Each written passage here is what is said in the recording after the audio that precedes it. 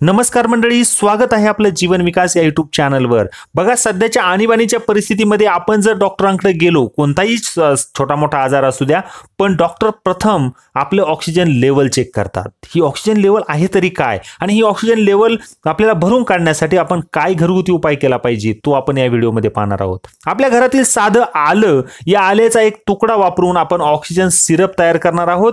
जे oxygen syrup आपण दिवसातून दोन वेळा घ्यायचंय आहे तुम्हाला रोगप्रतिकारशक्ती तर वाढेलच पण तुमची ऑक्सिजन लेवल कधीच कमी होणार नाही आणि तुमचं रक्त शुद्ध होईल.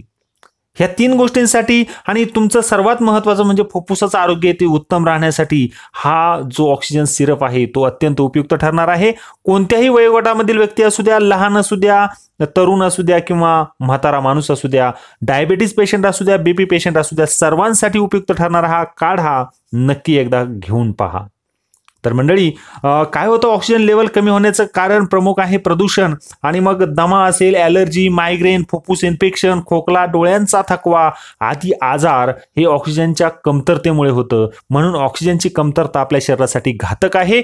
चला तर आपण पाहूया हा ऑक्सिजन सिरप बनवायचा कसा. यासाठी आपण आलं घेतलेलं आहे. आपण व्हिडिओमध्ये पाहता येतच आलं. आपण स्वच्छ धुवून घ्या आणि आलं धुवून घेतल्यानंतर किसणीच्या साह्याने ते किसून घ्या. आपल्याला त्या आल्याची एक ते दीड चमचा पेस्ट लागणार आहे.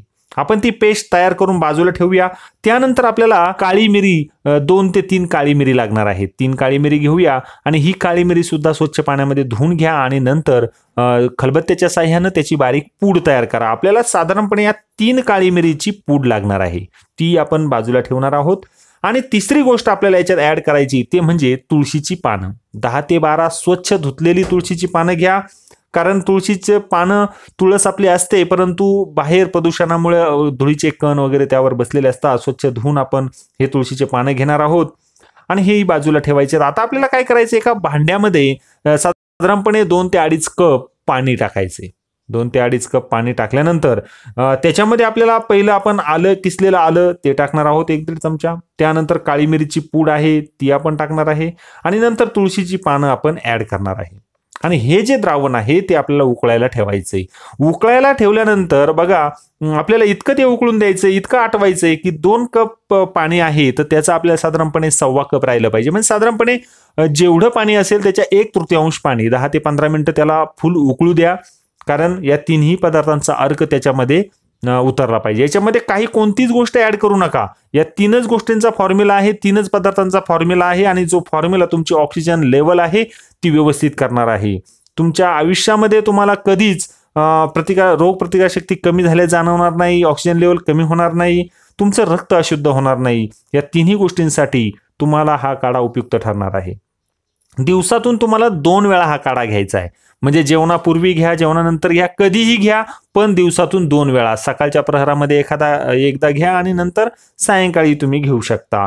बघा ऑक्सिजन लेवल वाढवण्यासाठी तुम्ही हा काढा नक्की घ्या आणि याचबरोबर मी तुम्हाला एक टिप्स देणार आहे. ते म्हणजे तुम्हाला ऑक्सिजन लेवल वाढवण्यासाठी अनुलोम विलोम हा प्राणायाम करायचा आहे. कपालभाती भस्त्रिका यांसारखे तुम्हाला प्राणायाम करा. पंधरा मिनिटं वेळ द्या आयुष्यामधले. रोज ओमचा जप करणे. रोज पंधरा मिनिटं प्राणायाम करा. तुमचा ऑक्सिजनचा स्तर कधीच आयुष्यभर खाली येणार नाही. मंडळींनो घरगुती उपाय कराच पण त्याबरोबरच प्राणायाम आणि योगासनाला सुद्धा महत्त्व द्या. निरोगी जीवन जगा आनंदी जीवन जगा. यानंतर आपण नवीन व्हिडिओमध्ये भेटणारच आहोत. तर तोपर्यंत नमस्कार.